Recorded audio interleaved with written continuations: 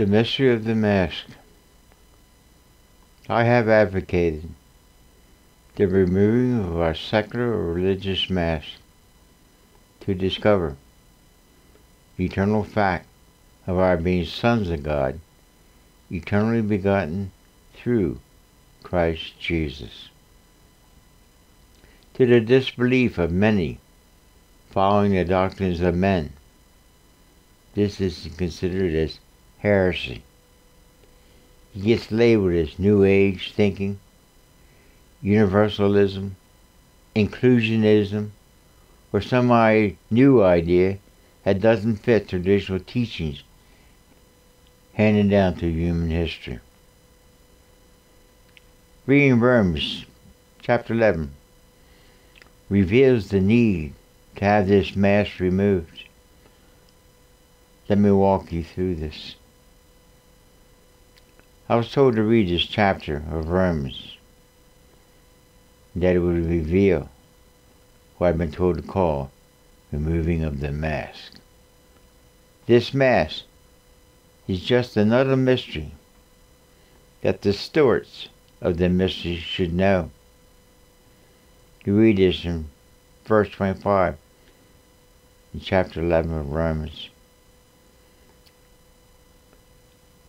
I do not want you, believers, to be unaware of this mystery. God's previously hidden plan. So you will not be wise in your own opinions. Notice that for you to see what is being shared, your opinion has to take a back seat. We know from scriptures that we aren't sufficient ourselves to evaluate anything, but we always do. And such confidence are we having through Christ toward God. Not that we are sufficient in ourselves to evaluate anything. This evaluation originating from ourselves, but our sufficiency has its source in God who has made us sufficient as those who minister a testament, new in quality, and not of the letter, but of the Spirit. 2 Corinthians 3 5. This verse alone knocks out this idea of using the unaided mind. As I mentioned, someone advocated in a comment on one of my videos.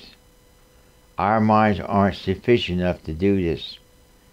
This is addressing the fallen carnal mind of our fallen human soul.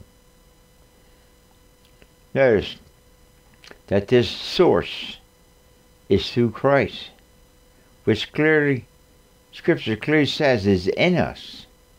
This mind of Christ, said to be the same mind that was in Jesus, the Son of God, while in the mode of a son of man.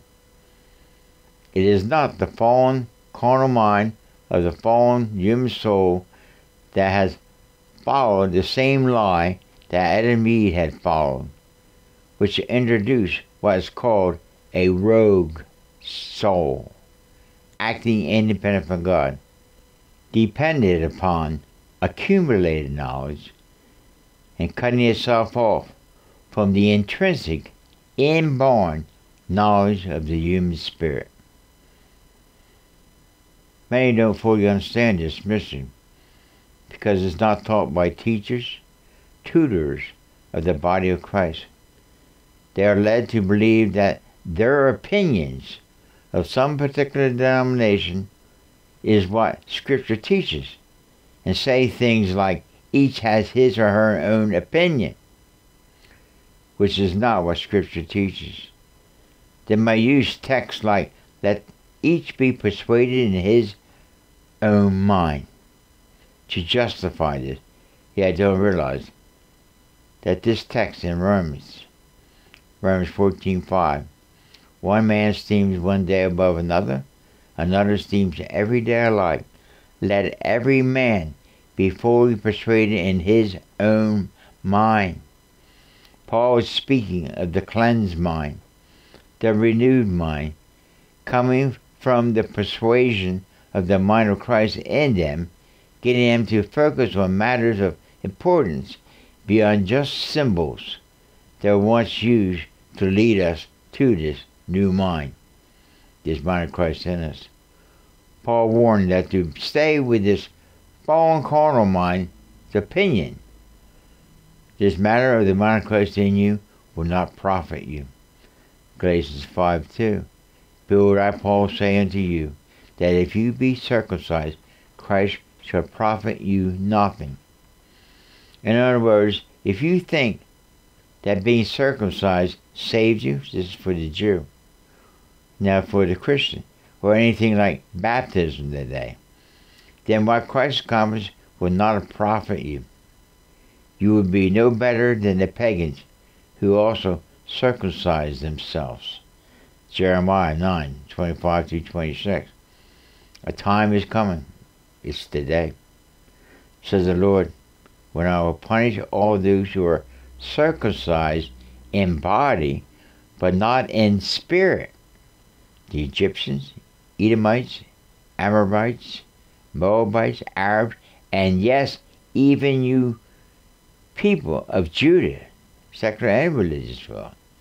For all these pagan nations also circumcised themselves. Hear that? For all these pagan nations also circumcised themselves, unless you circumcise your hearts by loving me, your circumcision is only a heathen rite like theirs and nothing more. Just a dead ritual. Notice the focus on the spirit. The human spirit cut off by the spirit of this world. That's what's occurred. Ephesians chapter 2, verse 2. Wherein times past you walked according to the course of this world, spirit of this world, according to the prince of the power of the air, the spirit that now worketh in the children of disobedience, rogue, a rogue soul, acting independent from God. If you follow the course of this world, secular and religious, you will end up with what Paul also warned us about. Ephesians 4.14 That we henceforth be no more children, tossed to and fro, carried about with every wind of doctrine by the sleight of men and cunning craftiness, whereby they lie in wait to deceive. Paul constantly begged us to have the same mind that was in Jesus, the Son of God in the mode of a Son of Man. This hidden mind under this mask of our flesh and the spirit of this world. Going on in Romans chapter 11, we read the following Just as you once were disobedient and failed to listen to God, He's your Father, but have now uh, obtained mercy because of their disobedience, the Jewish people. So they too have become disobedient, so that they too may one day receive mercy because of the mercy shown to you. For God had imprisoned all, hear that? For God had imprisoned all in disobedience so that he may show mercy to all, Jew and Gentile alike. Two masks are seen here. One religious, the other secular. Either way, it was a mass that's hidden. What Paul stresses at the end of this chapter. Oh, the depths of the riches and wisdom and knowledge of God. How unsearchable are his judgments and decisions, and how unfathomable, untraceable are his ways. For who has known the mind of the Lord?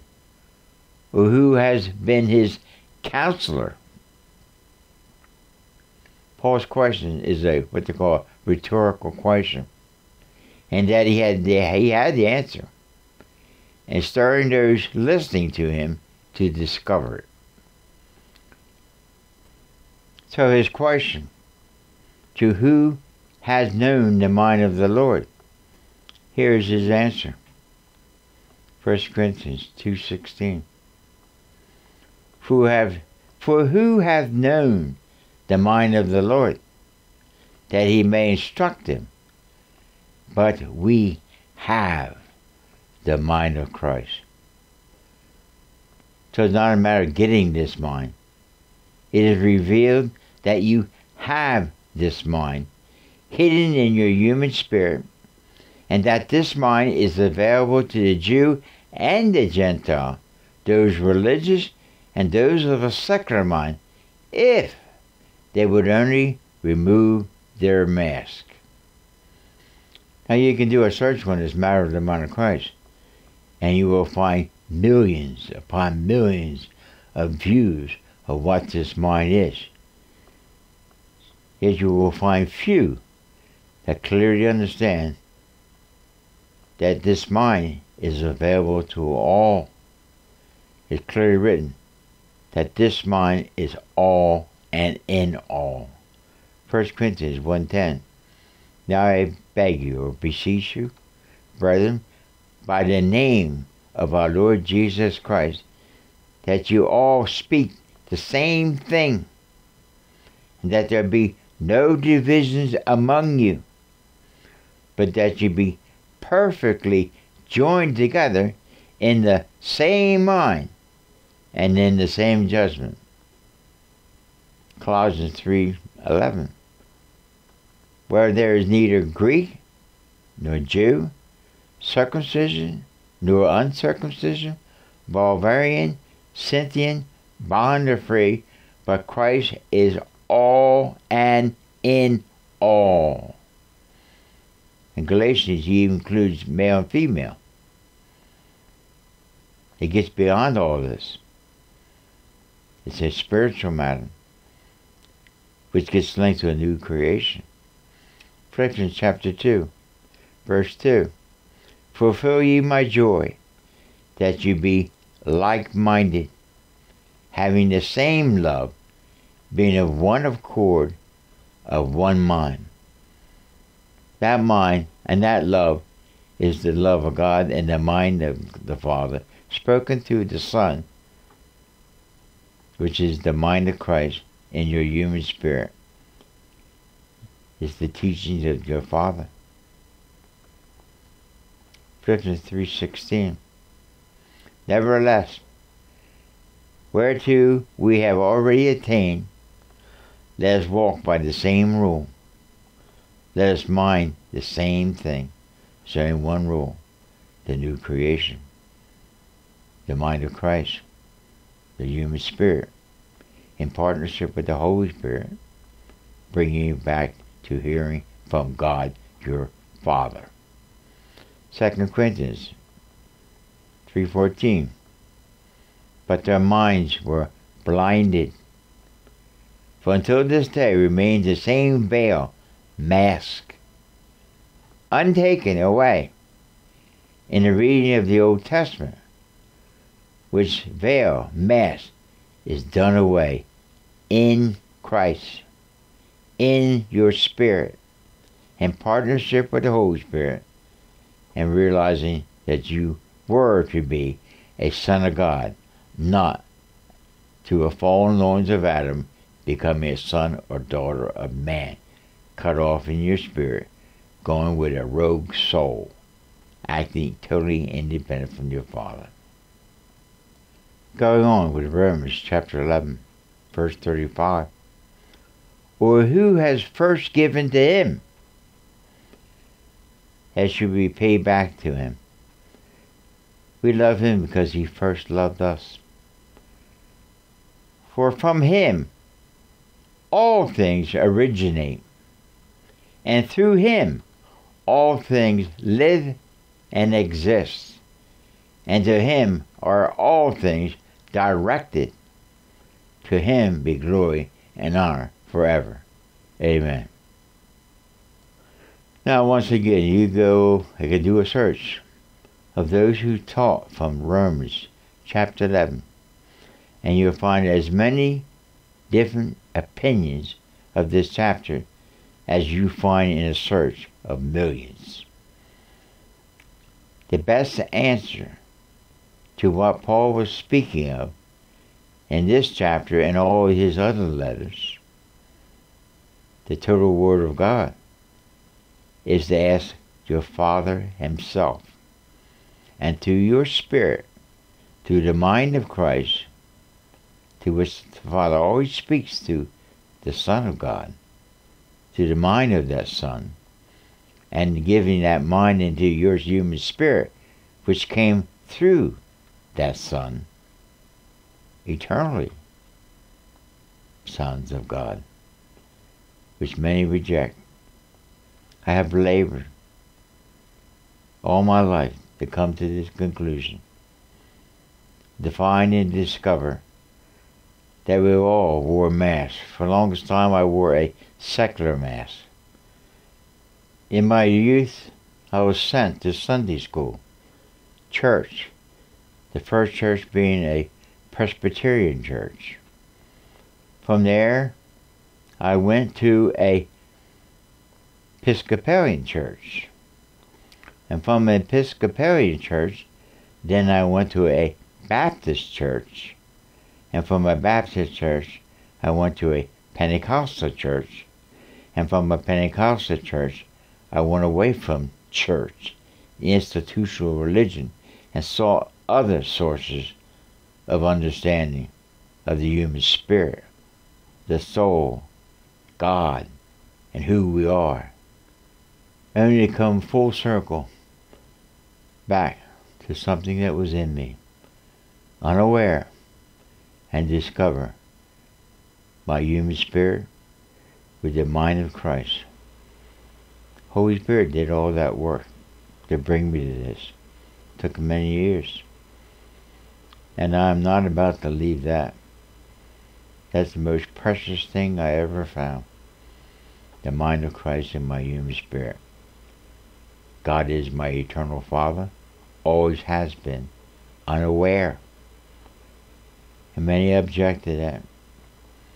I devoted many a video on the eternality of the human spirit, which came off an offshoot of other videos that talked about the first begotten, this mind of Christ, the new creation, what God has done for us is locked up in our human spirit, waiting to be revealed. But the Holy Spirit has to remove to various stages of growth. There's many tiered, layered, masked of some secular ideas, religious ideas, and let it decay and die. Though the outward man is decaying, yet the inward man is being renewed day by day, being made fit for a totally new existence. It's called the new creation.